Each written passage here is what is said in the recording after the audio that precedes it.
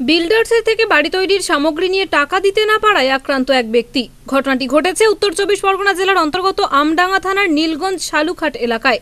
জানা গিয়েছে, নারায়ণ দাস নামক এক ব্যক্তি ওষুধ কিনতে গিয়ে ওখানকারই এক বিল্ডার্সের দোকান থেকে আট লক্ষ টাকার বাড়ি তৈরির সামগ্রী কিনেছিল।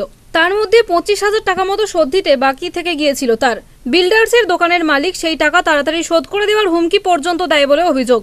নারায়ণ দাস টাকা শোধ দিতে কিছুদিন সময় চাইলে বিল্ডার্সের দোকানের মালিক বাদশার বড় ছেলে ইট দিয়ে মাথায় মারে নারায়ণ দাসকে। এমনটাই অভিযোগ করেছেন তিনি। নারায়ণ দাস টাকা শোধ দিতে কিছুদিন সময় চাইলে বিল্ডার্সের দোকানের মালিক বাদশার বড় ছেলে ইট দিয়ে মাথায় মারে নারায়ণ দাসকে বলে অভিযোগ।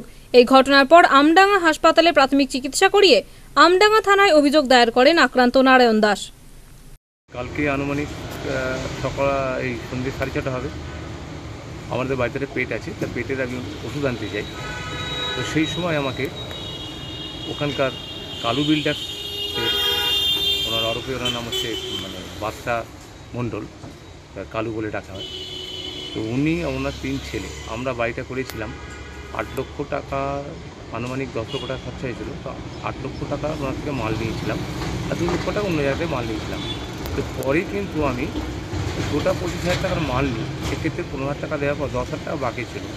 তো আমি বলেছিলাম ভাই দুদিন পরে আমি তোমায় দিচ্ছি ওনার বড় ছেলে মানে বাদশা মণ্ডলের বড় ছেলে আমাকে এমনভাবে হেনস্থা করে রাস্তায় দেখে তুই তো গাড়ি করে কিরে আমার এক মাস আমরা ওয়েট করে থাকি না।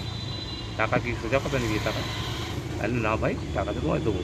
আমাকে সঙ্গে সঙ্গে টাকাটা অবশ্যভাবে গালি গালাজ দেয় গালি দিয়ে আমাকে বলে কানের গোড়ায় মারবো। তো আমি যদি মারবে কেন ভাই? ছোটো ভাইয়ে মারতে পারো?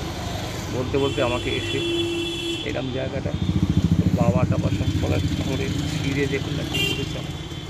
কি দিয়ে মারলো? জামাটা আমার ছিঁড়ে দিয়েছে দিয়ে এইখানে পানি দিয়ে মারলো রক্তের সমস্ত ভেসে গেছে আমার চোখে এবং শুধু তাই নয় আমার এই চোখে এমন একটা মেরেছে এই চোখে আমি চোখে দেখতে পাচ্ছি না। তো আমার কাছে আমি এখানে আমার নিকটবর্তী থানা হচ্ছে আমডাঙ্গা।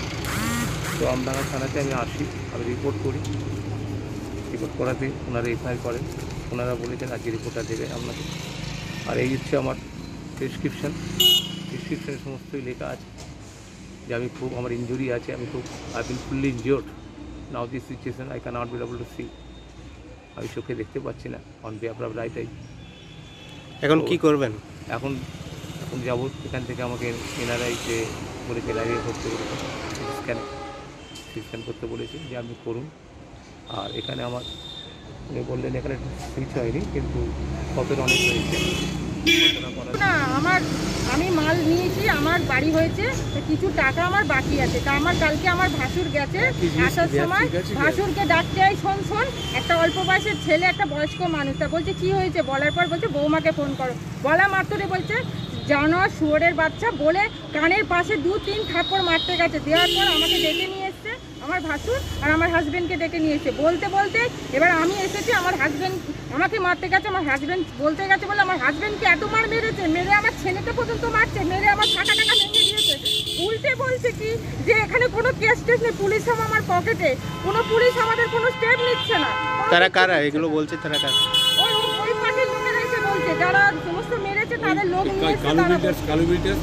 তিন ছেলে এবং তার ওই তার দল লোকেরা সব নিয়ে এসেছে। নিয়ে এসে বলছে এরকম ভাবে বললে কোনো কেস নেই না পুলিশ আমার পকেটে কোনো কিছু করা যাবে না। বলে ভাবে এবার কিছু করতে পারবে না। বলে যা খুশি তাই ভাবে আমাদের অত্যাচার করছে। রাস্তা থেকে বলছে কেস উঠিয়ে নাও কেস উঠিয়ে নাও।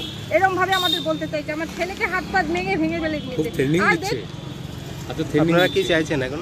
আমরা চাইছি সব বিচার। ওদের শাস্তি হওয়া দরকার। উত্তর চব্বিশ পরগনা থেকে তন্ময় কাহারের রিপোর্ট আনন্দ বার্তা